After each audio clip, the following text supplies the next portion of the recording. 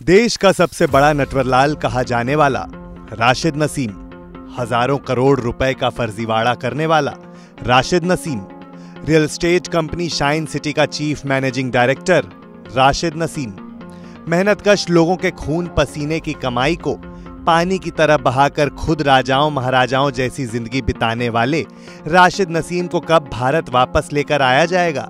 ये सवाल हर पीड़ित की ज़ुबान पर है।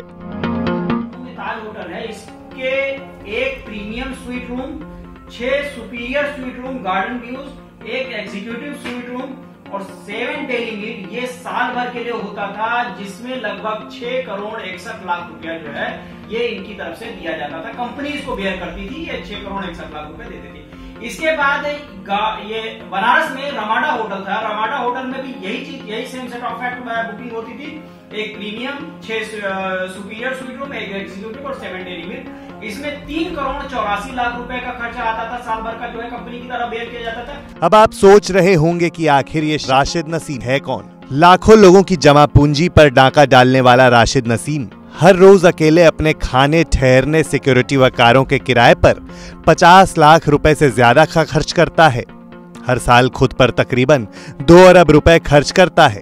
जानकारी के मुताबिक ये नटवरलाल चार साल पहले हर रोज सत्रह हज़ार रुपए खुद के पानी पीने पर खर्च करता था। पानी की बोतल ये पीते थे राशिद नसीम। वो उस बोतल का रेट जो है सत्रह सौ रुपए एक बोतल होता था। दिन भर में दस बोतल का इस्तेमाल हो रहा है। और लगभग ये बासठ लाख के आसपास का जो है एक्सपेंडिचर आता है, ये साल भर का है। इसके बाद लखनऊ में जब रहे या इंडिया में जब रहे तो इनके पास 10 परसेंट की सिक्योरिटी रहती थी। पर पर्सन तीस हज़ार रुपए का चार्ज मिलता था। और इसमें जो है साल भर के लिए लगभग लगभग 10 करोड़ पंचानबे लाख रुपए का जो है ये चार्जेस ये सब वो रकम है, जिसके बारे में ईडी जैसी जाँच एजेंसियों को जानकारी देकर उनके डॉक्यूमेंट सौंपे गए हैं। आशंका है कि इसके अलावा भी वह हर दिन खुद पर लाखों रुपए खर्च करता होगा। टॉप फ्लोर बुर्ज खलीफा का टॉप फ्लोर रेंट पे ले लिया जिसके लिए तैतीस करोड़ रुपया का जो है वो चार्ज एक्सपेंड किया गया दिया गया वहाँ पर। फिर इसके बाद एक सीन आता है जिसमें ओबराय होटल यही में एक ओबराय होटल है। ओबराय होटल पर भी तीन प्रीमियम स्वीट रूम पाँच सुपीरियर स्वीट रूम नाइन देश की तीन चौथाई आबादी महीने भर में जितने पैसे नहीं कमाती होगी राशिद नसीम उससे ज़्यादा का पानी एक दिन में पी जाता था।